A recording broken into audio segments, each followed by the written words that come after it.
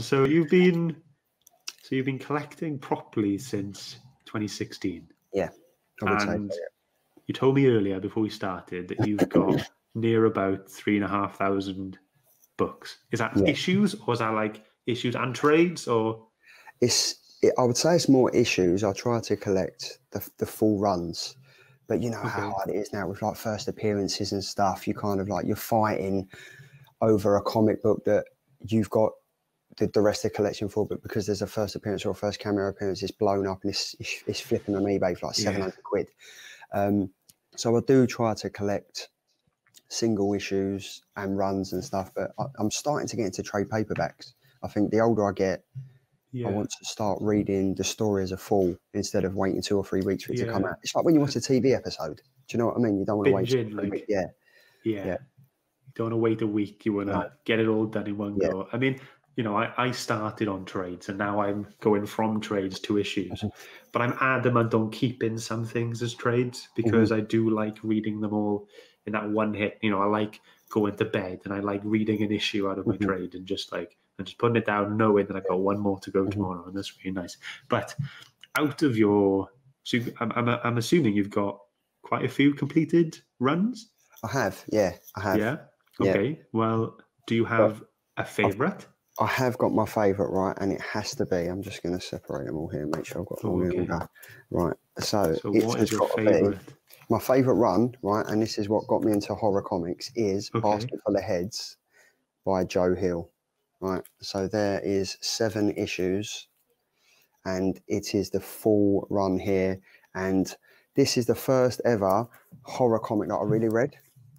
Now I wasn't really a fan of Joe Hill. I'm I'm I'm a big fan of DC in the comics, but I'm more of a fan of Marvel in the movies I completely agree. because Marvel is more generically aimed at families, more like comedic values from from the films, whereas DC is kind of more dark, like like Justice League Yeah. and stuff like Yeah. that. So, but with the comics, when they brought out their DC Black Label, and I found out that Joe Hill, obviously the son of Stephen King, was putting his stamp on the brand with Hill House Comics, I was like, this is a no brainer. I've got to get into it. And it was from Basket Full of Heads that I kind of that was the first horror full run that I collected, and it's an insane story. It's such an awesome story. So first, so are you a big fan of horror then, or was that, or was, or like, were you not at the time, and that kind of brought you into it, and then you've been a fan since then? I mean, I love horror horror movies. Like, I'll sit down and watch a horror movie. Like, I have to do it on my own because my wife doesn't like Yeah, it. I can't. And and I'm the kind of person that will sit down in the dark and I'm like, if I'm watching a horror movie, it's got to be dark, it's got to be pitch black. Um, but in horror comics, I've never really touched it. Now, I mean, I've known about Joe Hill for a while because obviously, like Locke and Key, yeah, Um, but even then, when it came out in comic form, I never really read it. I only really started to understand about it when it went into the Netflix TV show. yeah, And then obviously when DC Black Label, this was I was like, it's a horror comic. This is wicked because obviously he's done he's got his Hill House comics as fantastic writers, but he's also write some of them as well. So obviously Joe Hill writ Basket for the Heads. He also writ uh, Plunge number one. plunge. Okay. Plunge. Oh, like a Jaws type thing, is it? Yeah, it's it's all back. It's basically about like all the uh, the naughties and viciousness within the sea and something like that. I'm not going to give too much away because if there are new uh, horror fans out there that want to jump into it, check out DC Black Label Hill House Comics. But Basket Full of Heads is probably the one comic collection that got me into the horror genre. Nice, nice. And that's your favorite collection ever? I would I wouldn't say ever. Um, I mean, my favorite collection ever. I would have to say it's the Batman run because I've got from number one, and we are now. at- I think we're hitting 101. But this is at the moment. This is probably my favorite because it's horror. It's coming up to Halloween, so I thought it was very fitting to show a You're in the Halloween. mood. I'm in the mood. Yeah, I go. I go through chops and changes. Like one week it might be Batman. Next week it might be Yeah. Nightwing. Next week it might be Basket Full of Heads. So So, but but you kind of like to stick to that kind of dark theme. Yeah, know, Yeah. very dark. Yeah. Yeah. Mysterious. Mysterious. Yeah. Yeah. Might, might put my head up for this one. Mysterious. Look like bloody Yoda.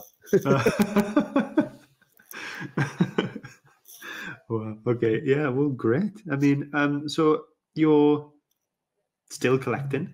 hmm Yeah. Um, is there anything you've got your say it again? Far too much. Far too much. I mean, is your is your wife happy with that?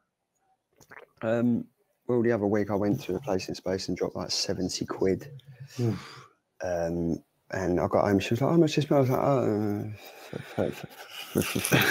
Money. But yeah, do you know what? It's all irrelevant. Like, you can't take it with you.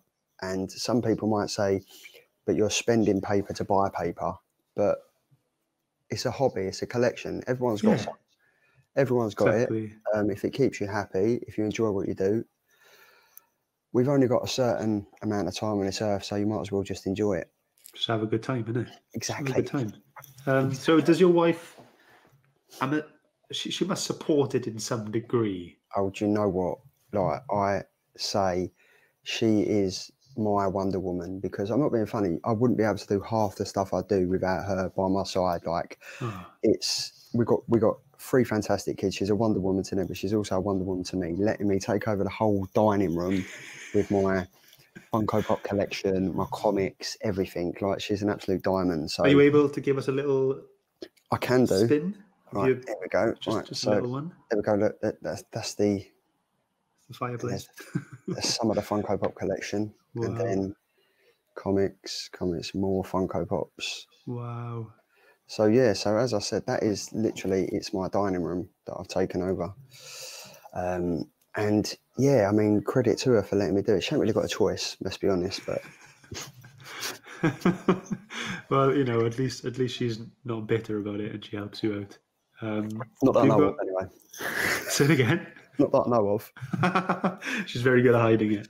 Yes, uh, so you've got what? Three, three children. I got three well? boys. Yeah, three boys. An Um, eight-year-old, eight-year-old, a three-year-old, and a two-year-old. All Wow. boys. Yeah. Yeah. Um, are they into this as well, like you were with your dad, or My my eldest is eight years old. He likes to draw comics, so he will sit and draw. Um, my middle child, he's kind of is at that age now where he just wants to fight and play football and do sports and Yeah. pick up my Funko Pops and stuff. And my two year old don't. He's I swear he's got six six six in the back of his head. Um, but yeah, it's uh it's hard work. But yeah, I think they they enjoy what I do. They they kind of know me as oh, are you doing a live show? Oh, blah blah blah. And they like my jumper, like Geeky Guy Comics. So they Yeah, kind of yeah. say they know me as Daddy, but then they kind of also know me as Geeky Guy Comics, which is really weird to have three little Yeah. people that look up to you as your alias. It's it's really surreal, right? but it is good. So- it is good. I'm sure they will get into comics. I'm sure they will. Like, um, you know, do you do, do do you want them to? Do you, you know, do you have things in mind? You know, like mean, with your dad then when when they to. turn ten. Yeah, I mean, I would love them to. I'd love to be able to give that comic that I received, Iron Man 200, to my little boy and say, if you're going to start collecting comics, you've got to start with this one. I'd love that. That's that's kind of my, my dream. Um, if they, if they, I know they would- they need to collect Funko Pops because Funko Pops are awesome. Comic Yeah. books are awesome. So to answer your question, yes, yes, I will, and they need to do what Daddy does. Need to, otherwise they're out. Out, they're off. oh, that's. I think that's really nice to kind of you know keep basically keeping it in the family. And like you said earlier, it's like you know it's, it runs in the genes. Yeah. And and and if your boy now is is uh, drawing. Mhm. Drawing comics. Is he, is he taking inspiration for anything you've got on the wall or anything you collect, or is he just making up his own stuff? No, he kind of got. Uh, I think for one of his birthdays, we bought him a magazine. It's like build your own comic, and it's got the comic section panels in it and stuff like that. Oh, And cool. Spider-Man orientated, so he got that, and it stick the stickers on the Spider-Man, and he was really proud of it. And it was, it was. I reviewed it on my Instagram channel. No So way.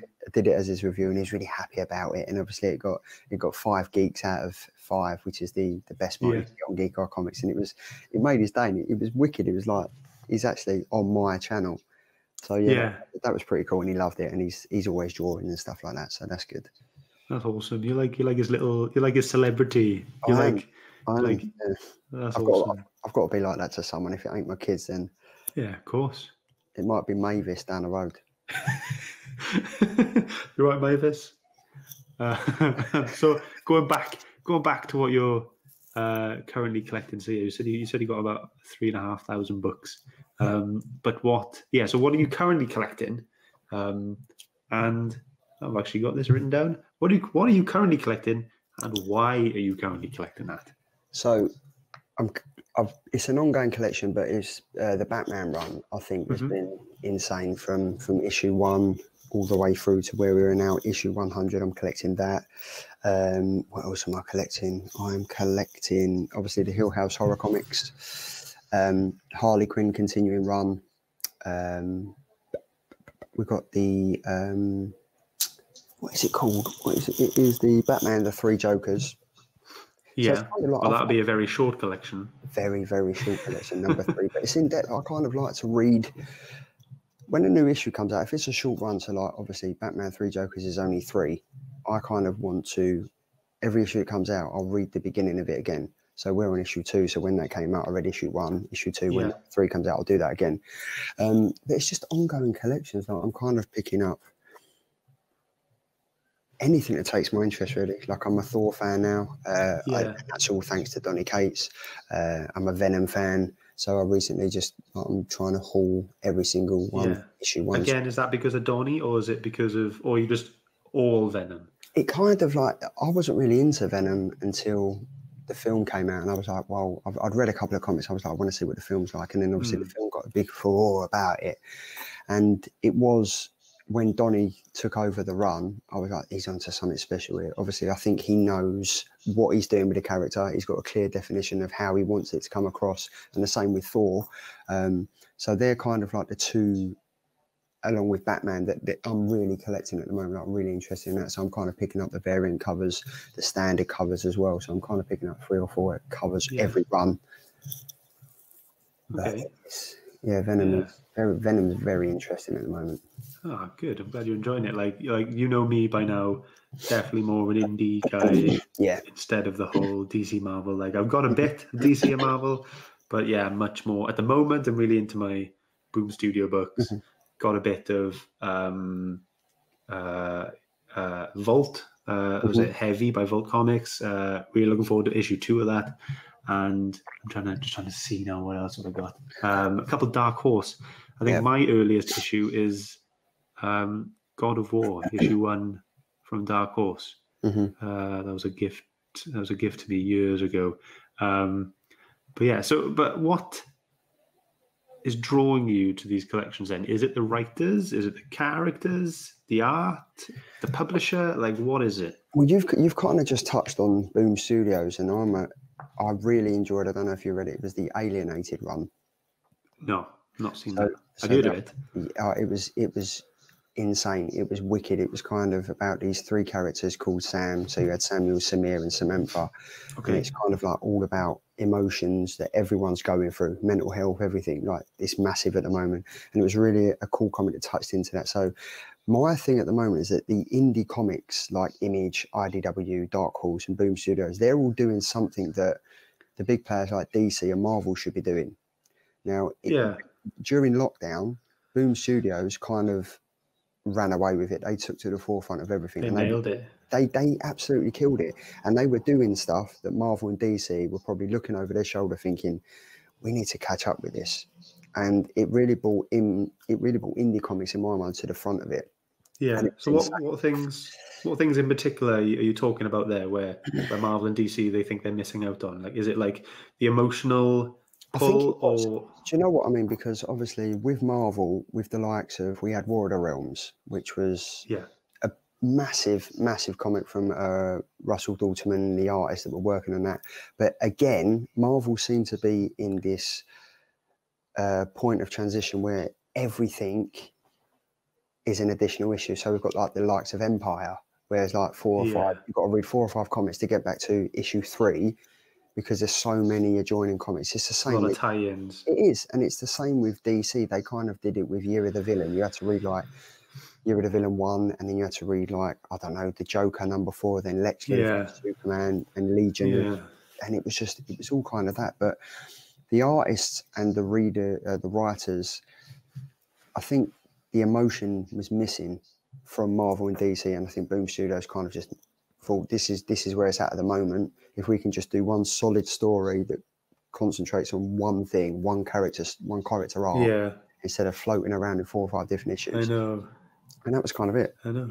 So, like, I think, uh, well, I think you've read it as well, but um, Seven Secrets, Yes, issue three Um, out tomorrow, by the way. issue three. Yeah, I, I got my order in today, actually. Really happy. Um, but yeah, issue one, Mhm. all I expected was some cool action. Mhm. And, you know, um, ah, who Tom Taylor Mhm. writes it, and I can't remember the artist, unfortunately. Um, do you know? No, I don't. No, okay, that's fine. Um, so yeah, Tom Taylor. Uh, first time reading Tom Taylor, so all I expected was um, some action, you know, some cool like little hidden secret stuff, as the name is the book, you know, Seven Secrets. But I did not expect to get my heart wrenched. Yeah. like at the end of that, and the same with issue two. And I, and I think, you know, that is that is what um, you know some some areas of Boom Studios are doing really well at in Yeah. that kind of uh, area, and I think it's awesome. Um, but yeah, the stuff they're bringing out at the moment are really original, different, you know, really awesome concepts. But they're bringing in good writers as well to do it, and I think that's what that is what is going to bring them more and more forward, Yeah. and get a bit more of a spotlight, you know, and kind of kind of nudge Marvel and DC a bit and go, come on, what are you doing?